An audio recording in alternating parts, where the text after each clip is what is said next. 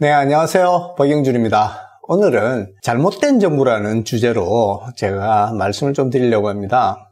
제가 이 유튜브 동영상을 찍게 된 계기가 바로 잘못된 정보 때문입니다. 제가 우연히 이제 그 유튜브를 보다가 등산과 또는 뭐 백패킹이나 캠핑과 관련된 이런 그 동영상들을 보게 됐어요. 에, 그런데 거기에 너무 많은 에, 잘못된 정보들이 있더라고요. 근데 뭐 잘못된 정보를 혼자서 알고 있으면 그건 문제가 없죠. 근데 그런 정보를 여러 사람이 보게 된다 그러면 에, 그거는 문제가 됩니다. 그래서 그런 정보들을 좀 바로 잡자. 그리고 올바른, 뭐 제가 다 100% 맞는지는 모르겠습니다만은, 가능하면 정확한 정보를 좀 전해드리는 것이 좋겠다. 그런 이제 그 의도를 가지고 제가 동영상을 어, 찍습니다. 저도 이 동영상이 뭐, 뭐 조회수가, 예, 뭐, 뭐 10만, 100만 이렇게 가는 그런 그 유튜브가 될 거라고 생각하지 않습니다. 왜냐하면 이게 굉장히 기술적인 내용들이 많이 들어가 있고 또 제가 뭐 재밌게 설명하는 사람이 아니기 때문에 예, 그래서 좀 따분합니다. 실제로. 그 특히 이제 등산 용품이나 뭐 등산 의류나 이런 데 대해서 이렇게 기능적인 부분에 있어서 굉장히 관심이 많으신 분들이냐, 예, 뭐 그게 그 참고 예, 뭐 보실만 하지만은 뭐 일반 그 우리가 뭐 위켄드 어, 하이커들에게는 이게 뭐 그렇게 중요한 내용도 아니지 않습니까? 뭐 설렁설렁 뭐 한 서너 시간, 뭐 짧게는 두세 시간 이렇게 걸었다가 오시는 분들 에게는 사실은 뭐 이옷이나 저옷이나 또는 뭐 이 등산 하나 저 등산 하나 뭐 그렇게 별로 큰 차이가 있지가 않습니다. 그래서 어차피 제, 제 프로가 그냥 엄청나게 그, 그 히트를 치는 예, 그런 어, 유튜브 동영상이 된다고는 처음부터 생각지 않았습니다. 예. 그렇지만 이제 어, 이런 그 등산 용품과 어, 백패킹 용품 그 다음에 등산 의류에 대해서 관심이 많으신 분들한테는 또 그게 알고 싶으신 분들한테는 조금은 도움이 되지 않겠냐 해서 이걸 이제 만드는 거죠. 뭐 제가 그 제 동영상에 댓글에 달린 글들에 뭐 일일이 다 뭐 방법 뭐 반박을 한 한다든지 뭐 그러진 않고 있습니다. 뭐 그런 데서 그냥 그저 키보드 배틀을 해봐야 예, 뭐 그게 뭐 크게 의미가 있겠습니까? 그래서 뭐 그런 건 안 하는데 어, 그래도 제 동영상에 어, 댓글을 다신다 그러면 뭐 최소한 예, 사실관계는 확인을 하시고 예, 그 다음에 자료를 조금 더 조사를 하시고 뭐 그렇게 댓글을 달아 주셨으면 어떨까 싶습니다. 뭐 그런 어, 뭐 제가 잘못된 점에 대해서 지적을 하신다든지 어, 이런 건 저도 언제든지 받아들이고 또 저는 그걸 배울 의사가 충분히 있습니다. 그래서 아 이거는 정말 잘못된 것이다 이렇게 생각하시면 제 댓글에 예, 그런 점을 지적해 주시면 제가 또 그걸 공부하고 예, 조금 더 나은 유튜브를 만들 수 있지 않겠나 이렇게 생각을 합니다. 어, 며칠 전에 어, 제가 이제 한 열흘간 제가 유튜브를 안 찍었죠. 예, 그러다가 오래간만에 이제 유튜브를 다시 한 장 하나 올리면서 제가 댓글을 봤더니 어, 이런 그 텐트에 관련해서 그 이런 그 댓글을 예, 길게 그 올리신 분이 계시더라고요. 그래서 일단 이 댓글을 한번 보시겠습니다. 제가 최근에 이제 텐트에 관한 것들을 어, 많이 올렸는데 아, 이분이 뭐그 뭐 굉장히 잘하시는 것처럼 이렇게 글을 써놓으셨더라고요. 그래서 제가 여기에 대해서 어, 제가 조금 말씀을 좀 드리고 싶습니다. 여기 보시면 뭐라고 해놓으셨냐면 제일 큰 문제는 5,000m 이상 고산지대 원정 산행 가는 프로용 텐트를 기껏해야 1,000m급 한국산에서 쓸 필요가 있느냐 이렇게 지금 그 말씀을 하셨어요. 근데 그, 이 그 댓글을 다신 게 제가 그 헬스포츠 텐트를, 그리고 헬스포츠 텐트 어, 소개하면서 가는 힐레베르도 들어가 있습니다. 그래서 그 텐트들이 지금 5,000m에서 산 고산지대 원정 사냥가는 프로용 텐트라고 이렇게 정의를 하셨더라고요. 그리고 저 물건들은 한국에 들어올 필요가 없는 초고가 전문가용 고산 등반용입니다. 이렇게 지금 설명을 하셨어요. 어, 이거는 그 잘못된 정보죠. 자, 그러면 왜 잘못된 정보인지 제가 설명을 드리겠습니다. 자, 먼저 에베레스트 베이스 캠프의 사진을 한번 보시겠습니다. 예, 어떻습니까? 예, 여기에 지금 뭐 힐리베르그 텐트 하나도 안 보이시죠? 헬스포츠도 텐트가 안 보이실 겁니다. 예, 이것도 베이스 캠프 사진입니다. 예, 여기도 안 보이시죠? 주로 보이는 텐트는 어떤 겁니까? 어, 보시고 아시겠어요? 예, 대부분의 노스페이스고 그 다음에 유레카, 유레카는 이제 캐나다 회사입니다. 예, 그 다음에 마운틴 하드웨어입니다. 근데 텐트 모양이 다 비슷하지 않습니까? 그렇죠. 예, 텐트 모양이 비슷하게 보이실 겁니다. 그 요렇게 왜 텐트가 이런 식의 모양을 가지고 있는지는 이제 나중에 후반부에 설명을 드리겠습니다. 자, 그러면 이거는 그러면 베이스 캠프니까 베이스 캠프는 보통 6,000m 정도에 있습니다. 자, 그 다음에 한번 보시겠습니다. 자, 이거는 캠프 3에서의 사진입니다. 여기 어디에도 힐레베르거나 헬스포츠 텐트를 사용하고 있지 않습니다. 자, 그 다음에 여기가 예, 캠프 4입니다. 이게 사우스 콜이라는 곳이죠, 여기가. 예, 사우스 콜이 7,900m입니다. 여기 텐트 모양들 한번 보십시오. 눈을 씻고 찾아보셔도 없으실 겁니다. 네, 여기도 사우스콜의 사진입니다. 없으시죠? 자, 그러면 힐레베르그 중에서 제일 튼튼하다는 텐트가 예, 블랙라벨 텐트입니다. 그 중에 제가 스타이커만 예를 들어 보겠습니다. 예, 스타이커를 어디다 쓰는가 보시죠. 어디입니까? 고산 아닙니다. 또 보실까요? 스타이카 사진? 고산에 씁니까? 그렇지 않습니다. 제가 여기서 소개해 드리는 것은 낮은 고도에서 그런 데서도 쓰는 텐트입니다. 이제 조금 이해가 가시겠습니까? 자, 그러면 고산에서, 정말 고산에서 원정에 고소 등반용으로 쓰는 텐트의 대표적인 텐트가 있습니다. 그게 이제 그 노스페이스의 Mountain 25라는 모델입니다. 예, 바로 이 텐트입니다. 이거 말고 최근에 이제 Assault라는 Assault 2인가 하는 모델이 또 나와 있어요. 예.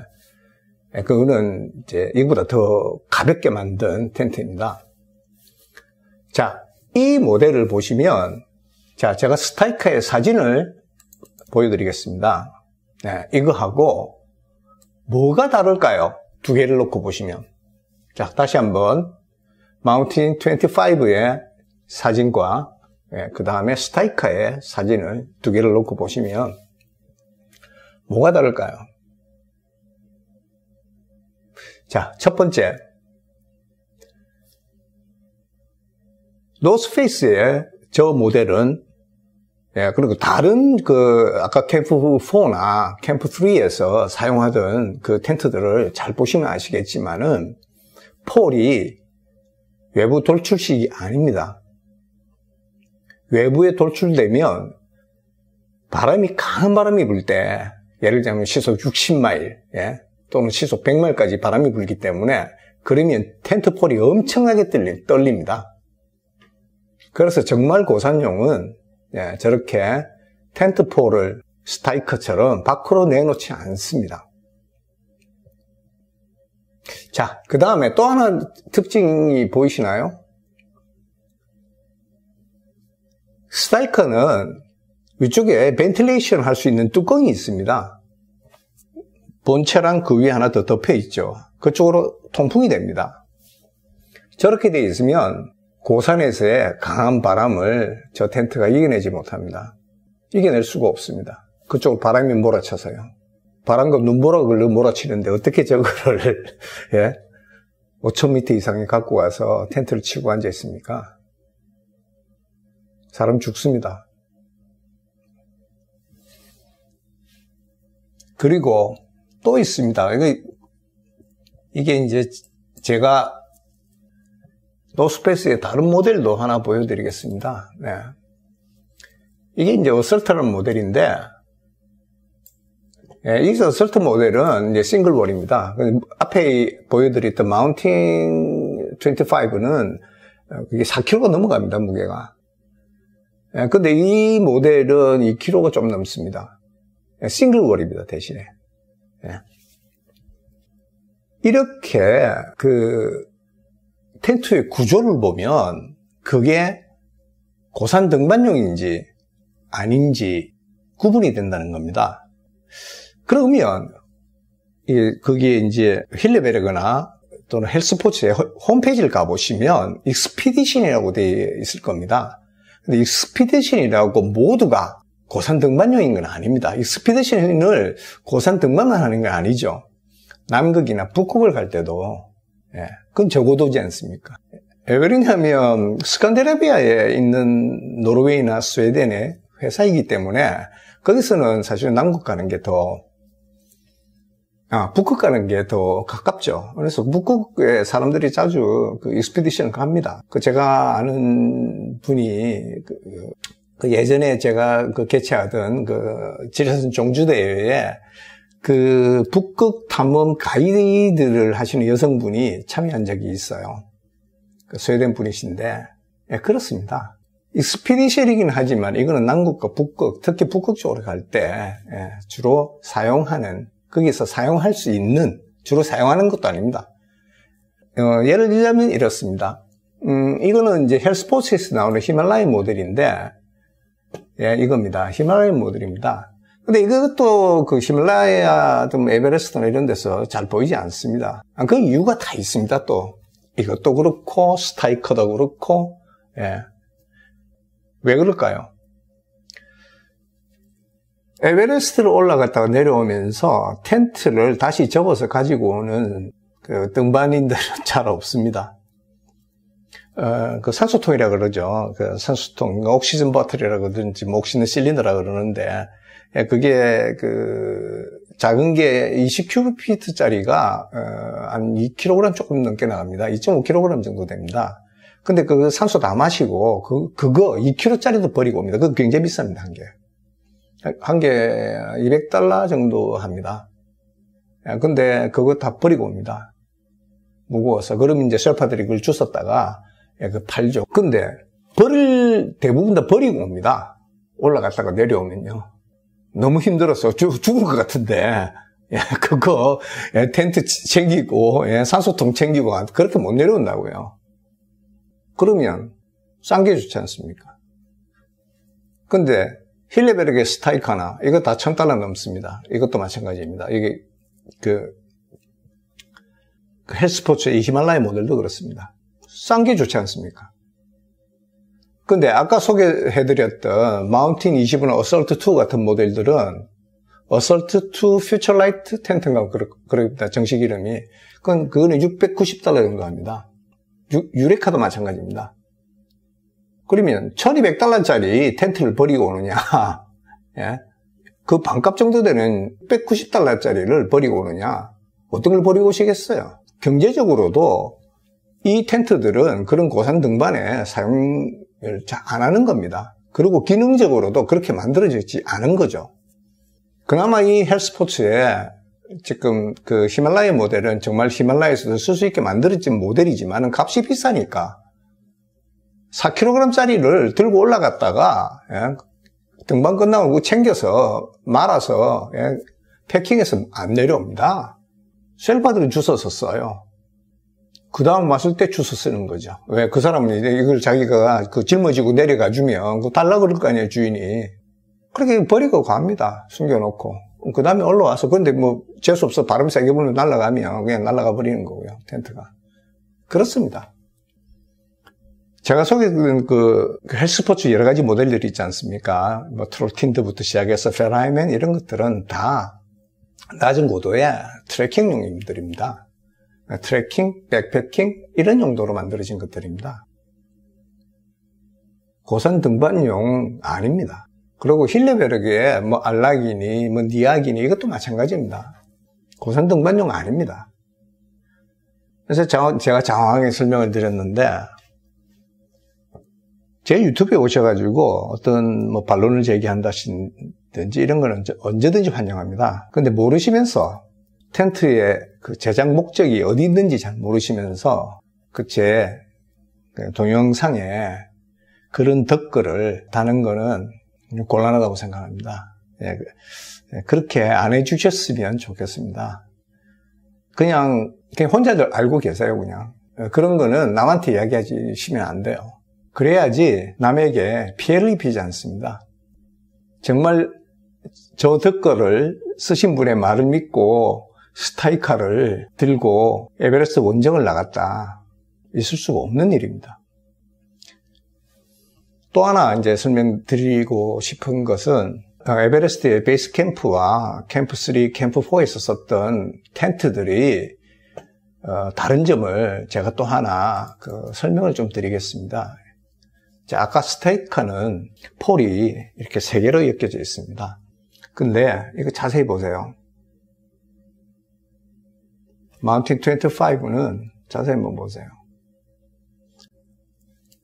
폴이 4개 들어갑니다. 그래야 강풍이 쓰러지지 않습니다. 그러니까 찌그러지지 않습니다. 예, 이게 예, 오산 등반용 텐트의 특징입니다. 예, 오늘은 여기서 줄이겠습니다. 감사합니다.